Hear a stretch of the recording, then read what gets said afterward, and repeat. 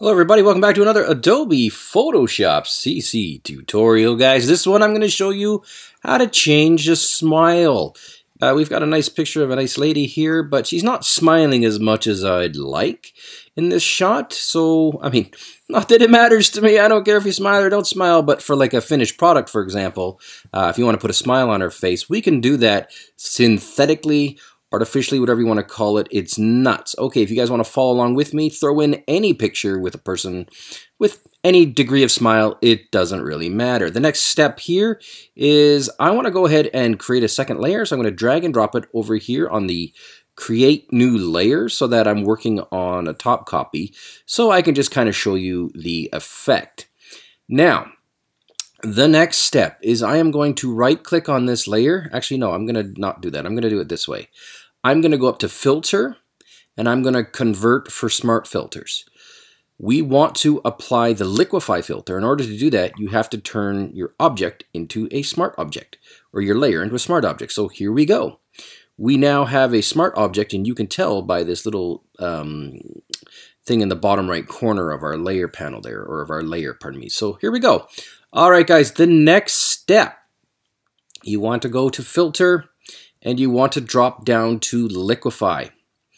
Now, this is for Adobe Photoshop CC, and I don't know how long this has been in here, but I'm using CC 2018, but this I think is only a few years old. So if you don't see this, there are other ways to do it, but you'd have to look at one of my other tutorials. But anyways, if you've got one of the recent versions of Photoshop, here we go. We're going to go down here and then it automatically does some face detection awesomeness.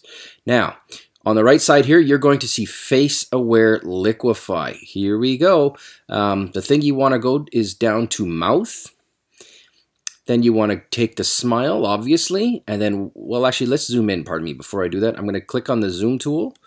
And I'm just going to zoom in. Whoa, Nelly. Uh, maybe that's a bit much. I'm going to zoom out, pardon me. Way out. All right, that looks, that looks good. Let's go with that. Now, we come over here to the mouth tool. Now we're over on the smile, and now watch this magic. Look at this.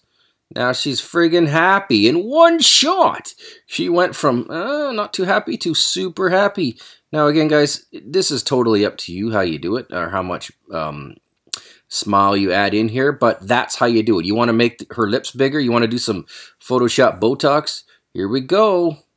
Photoshop Botox. The lower lip, if you increase it, actually decreases the size. So I don't know what photo, I don't know what people want, little lips or big lips for the lower lip, but let's go with a big lip. All right, so it kind of looks like she got into a boxing match. But anyway, guys, you guys get the point. Also, there are other tools and sliders here, so if you want a wider mouth, maybe, um, mouth height, well, this isn't, a, you want to, oh yeah, that's getting some, that's getting the Kardashian look going on right there. So let's increase that. And uh, again, guys, you can do all sorts of other things too, like forehead, chin height. Uh, do you want to make a, whoa, change, whoa, look at that, guys. Um, but anyways, I'm having too much fun here. But yeah, I, I mean, I would probably change that up. And you can also do the jawline. You want to make her nice and big jawed, or you want to turn into her like a narrow jaw. Either way, guys, these are all things you can do here with the liquify filter it's pretty amazing, although this does lead to a lot of you know potential body image issues where people are doctoring images and it's not cool. So i just want to show you that. Um, if you have any questions or if there's any tutorials you want to learn from just leave a message in the comments below. I'll make you a tutorial. We'll get her done. All right guys. Thanks for watching this. I'll be back soon with some more stuff